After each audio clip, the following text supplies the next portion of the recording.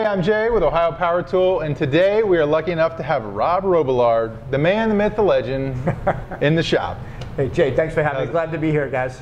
So I wanted to just ask you a couple things. Uh, really thank you for coming out, but I wanted to talk to you about some of the cool things you do to really promote the trades to the younger kind of age group. So Yeah. they're really kind of, you know, showing it as a career that you should be excited about is getting into the trades. So All right, so about, about six, six or seven years ago, I read something. I don't even know where I was. I read it in a paper or something. It was startling. It was, you know, every for every five tradesperson, tradespeople retiring, there was one replacement. So Yeah. the skills gap. Everybody's talking about the skills gap.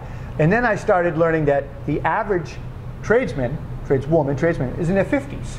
I was like, okay, so what's going to happen when all these folks retire? Yeah. So um, I got together with all the guys at Toolbox Buzz and Concord Carpenter, and we started thinking, you know, what can we do to, to get involved? So some of the things that we've done is we, uh, we reached out to NARI, which is a remodeling association, and we basically got involved in their career day, their trade career day.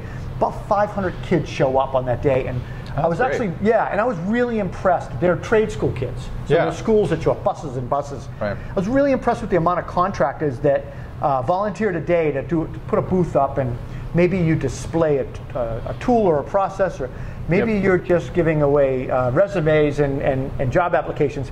And we also do these mock interviews and we teach these kids how to interview for a job. Um, so that was one thing we do. It's only once a year, so Yeah. it's one day a year. Um, my guys and, and I started to visit local trade schools and we donate, as you know, we do tool Yeah, reviews. So yep. we get lots of tools and we review these tools. What do you do with all these tools? You can only Right. have one or two cordless drills. Right. You don't need 20. Um, so we donate them to local trade schools and Makita's been great uh, Yep. with us, uh, promoting that with us. Um, and every time we go to a school, we talk to these kids about yeah. a couple things. awesome. What, do, what do employers like me want to see in expectations in them? And, and we give them tips Mm-hmm. and techniques to try to be a good employee and, and promote themselves. And then also, what can they expect from a good employer? And, and I think that dialogue has been great. Um, it also, uh, one of the visits to the trade schools actually got, a, got me a recent employee. Okay. So a young, young lady named Skylar was in the audience of one of these talks that I gave. Um, she reached out to, I gave everybody my web Yeah. address, and uh, she reached out to me about two weeks later and asked me if I was hiring for the summer. That's awesome. So we hired uh, Skylar. She's a, a, a local uh, trade school student. She's a junior, rising senior, and we're going to make her um, co-op student. For, That's awesome. Yeah, Yeah, called yeah. co-op, right? One week Just so- on, one yeah, week off. So she's going to be a co-op student. kind of coming this year. intern yeah, thing. Yeah. That's awesome. And then I know I've seen the Build America. Is it Yeah. that for like you've done that Super for several fun. years? That's five years in running. Yeah. Build America is a little bit different. It's not so much trades because these kids that we're training are not Right. trade folks. They're not going to go in the trades. Maybe one out of 50. Yeah. But um, Build America is kind of a, a feel-good thing. It's a philanthropic um, fraternity that does a six-week trip across the United States, and they go to camps, six weeks, six camps, and they go to these camps for kids with disabilities. And Okay. every camper, every uh, kid has to raise five thousand dollars. That money buys materials, and then these kids show up and they do free labor. So Okay. labor, free labor, free money in a form of a grant. Yep. And then what we do is we spend 16 to 20 hours with them before that, and we teach them how to use tools Okay. safely, and we teach them how to build some of the projects. Okay. Um, so pro- like ramps and things. ramps, and- decks, docks, pergolas. Um, the problem is, Jay, is most of these kids have never used a tool before. Some of them never put a nail in a board, not Yeah. even a nail. So it's like we have to teach them how to hammer a nail all the way up to using a table saw in 20 hours. Yeah. It's challenging. um, I will say this. But- they, Yeah, I mean, I think I think what you're doing and a lot of what Toolbox Buzz and and Concord Carpenter and and like programs like that do is at a higher level is kind of make it cool to be involved. Yeah, in, make it fun. The trades like Yeah. you're making things. Um, you know, how do we get more kind of teenagers Yeah. back to even consider trade school? Like, we got to reach them younger and make it like fun. I think I I don't know the answer. I mean, I have an idea, but I think the answer lies with parents. And Yep. for years, years, my parents included, they used to say, "You got to go to college. Right, yeah. You got to go to college." They poo-pooed the trades. Yep. You know, only the flunkies and the and the you know the the, the flunk outs and the, and the whatever the junk the the, the kids that drop out of school, Yeah. they're going to be the ones who go to trade school. Right. That's it. And that's not really the case because not No. everybody is set up to work in a cubicle. Not everybody wants to push paper or, or Right. type on a keyboard. A lot of folks are hand oriented or they want to Sure. use their hands, they, they want to problem solve. And the trades is a great way to get involved with problem solving, fixing things, starting from scratch, or it's, it's just a, it's a cool opportunity. And for me, my office changes every day. I'm in a different environment almost every day. I like that. Yeah, You know? no, it's. I mean, it, it's certainly an amazing way to make money. Yeah, and yeah. you can build a business, and you can. can be as very successful as anybody who can- went to, you know, got a liberal arts degree. Yep. I mean, it just depends on on the, the student. I mean, I always go back to when I was 14 years old. I got my first job washing dishes, and Me too.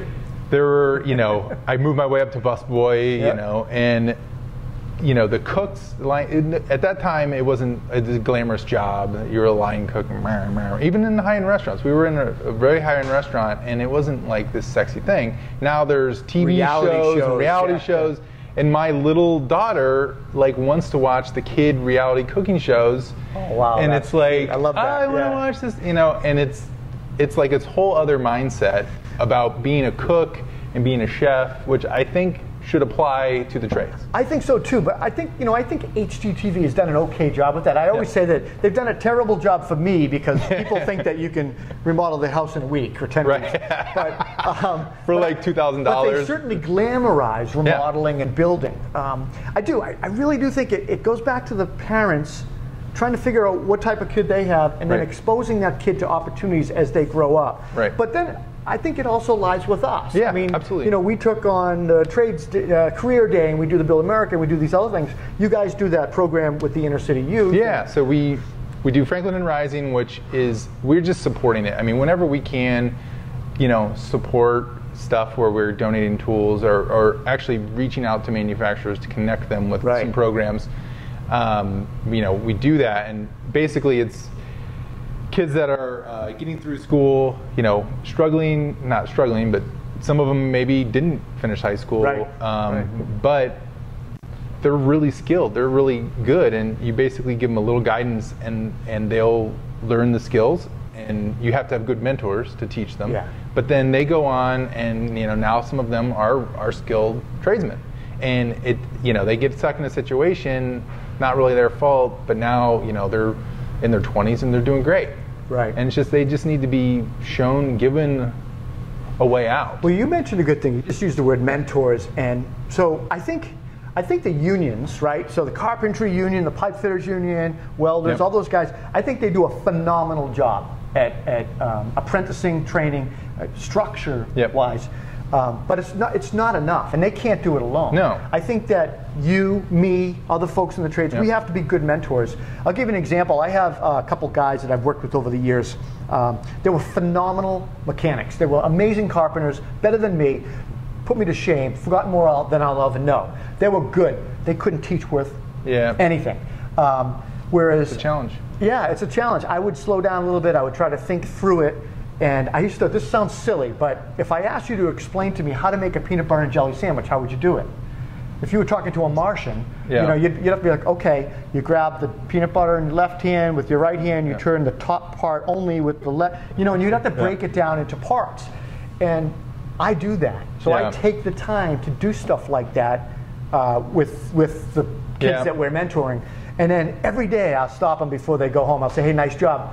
What did you learn today?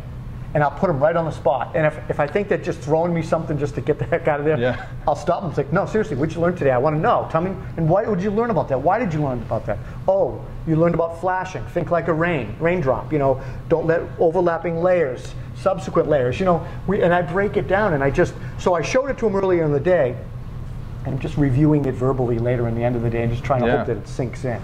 So we need about 20,000 more Rob Robillards all over the country, and then That- we will solve this problem. I don't know if we'd all get along.